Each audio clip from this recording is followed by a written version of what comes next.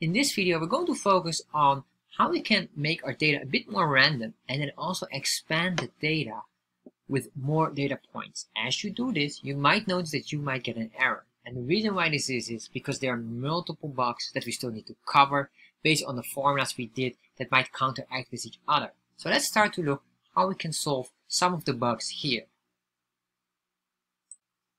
So the next part here, and this is part 11, we're going to focus on debugging or switching our item and then you will see we get some errors and now we have to debug and this debugging requires probably two items that we need to solve and I will solve here the first item. So we have this code here but this code here and all the values and data points are quite static and I saw some comments as well if you have multiple data points it gives an error.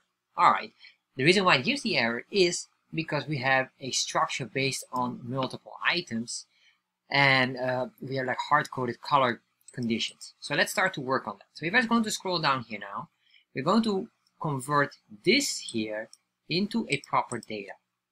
So I'm going to make here a loop, and this loop will consist now of 25 data points instead of only 7 hard-coded data points. So what I'm going to say here is constant, and then we say here dates, and then within here I'm going to say constant numbers as well. So we have two constants, one for date and one for numbers. There's this one here and that one here. Because normally we should supposed to have here now the bars, but this will not work because we have multiple items we need to solve first. So what I'm going to do now is I'm going to add up here this. I'm going to make a for loop. Say for, then let i equals zero, and then what I will do here is we will loop i as long as i is smaller than 25. Then we say here i plus plus for increment increase it incrementally with one value. So the next thing what I want to do here is to make sure that it is a date. So basically this here, we have to put it in and then I want to plus one every single date. So what I'm going to do here now is I'm going to create here a constant. I'll say here this is the date equals new date, which is basically a new date object based on today, which is the current date. And the next one I want to say here that is I want to grab this date then what I want to do is I want to say a dot set date. And basically what I'm doing is I want to have one day incremental every single time based on the i. So I say here the date. We're going to grab this and say dot get date. And then we're going to say here plus i. So what this truly does is we're going to grab the date and then we're going to or we're going to set a new date here basically. But the new date is based on the current date that we get, which would be whatever that date is, and then plus one day. And this will be very nice because once we do that, it starts to work nicely. So then what I want to do here is I want to say here, I'm going to grab this array here, dates.push. And we can do it like that. And the same thing what I want to do with numbers, dot push, and then maybe here for the numbers, dot push. I don't want to put in the uh, i over, uh, before I even continue on here, I need to make sure that this will push on the date, which makes sense because I want to push the date in here. And then here for the numbers, if I do I, we start at zero. So I don't want that. And we have a stock market value, so it should be always somewhere things. So what I'm going to do here, very simple math.random. And I just do it simple by saying multiply by 10, for example. So it will be a random number somewhere between 0 and 10. So if I save this, and then now we're going to put here console log and then we're just going to log out the dates. And then I want to do as well log out our numbers. Save that refresh. So now if I open up developer tab you can see here we should get a huge amount of items here. All the dates. Beautiful. And we get all of the numbers here. You can see the numbers are ranging somewhere from 0 all the way up to 10 basically and if you click here, you can see here very carefully, we have the dates here, but the dates are based on what, what time it is right now. So I don't want that. I want to set this on 000, because if you don't do this, we'll get an error afterwards. Let me show you. Let's copy this. This label here will be commented out. I'm going to say here labels, dates, comma. Then we're going to say here for the data, let's say data column. Then we're going to grab here the numbers as the value and comma. If I save this, refresh, there we are. Alright, it starts to work nicely.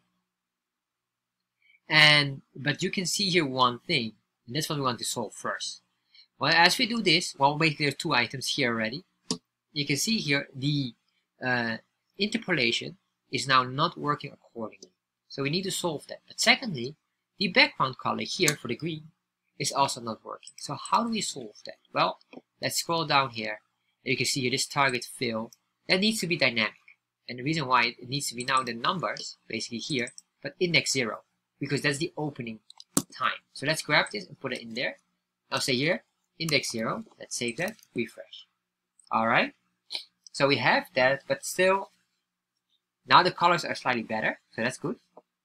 The next thing what I need to do here is the following.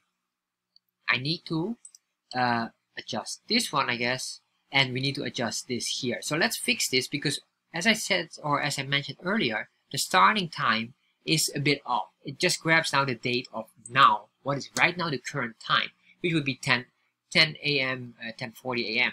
So I want to set the date on midnight, basically. So I'm going to say here get date, and here we have the date push, and there's a dot set hours, and then I'm going to say 0, comma 0, comma 0, comma 0. Save that.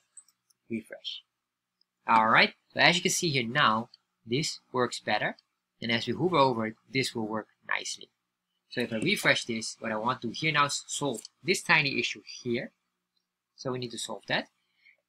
Uh, let's see, what is that? That's the label. Most likely we need to do a, uh, uh, for the decimals, we have to remove the amount of decimals in here. So that is for the Y label. Let's search for that. Y label. Here we are. And in the Y label here, we get this Y label and then two fix of this. But for some reason, the Y label is not too fixed. Uh, let's see here. Is that the fill text? Let's scroll down here. Uh, let me double check. Hold on. So, alright, sorry. It is not the Y label. I thought it was the Y label. So let me just uh, explain. So why I was thinking about Y label because I think about the Y axis here. However, this here was not the Y label because it's not on the crosshair. The crosshair Y label is this one here, the 7.40 for example. But what we need is this one here. This is probably starting point here. Apparently I can name that the starting point. So we're going to search for the starting point. I guess we can say uh, uh, Control F and then say starting point. There we are. So the constant of starting point is that. And then we're going to look for the text. We have here the fill rec starting point, and then we have here the fill, well, this is the starting point text. So this is the constant that we're referring to here. So what I'm going to do here is just say here, dot, and I'm going to say to fix, and I will say here, two decimals. Save that, refresh, there we are. So now, this all works very, very good. However, we're not really done here, and the reason why we're not done yet is it becomes a problem the moment we have more value. So let me show you here, and that will be in the next video. We're going to focus on that one. If I do 100 here and I save a refresh, you will see here now our crosshair is starting to give us another issue here, which is the add color stop. That's the one we're going to solve in the next video.